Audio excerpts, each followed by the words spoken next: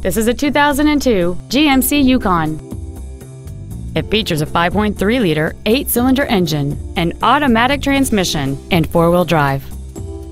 All of the following features are included. A locking rear differential, aluminum wheels, cruise control, running boards, pass lock theft deterrent system, a chrome grille, fog lamps, composite halogen headlights, air conditioning with automatic climate control, and this vehicle has fewer than 63,000 miles on the odometer.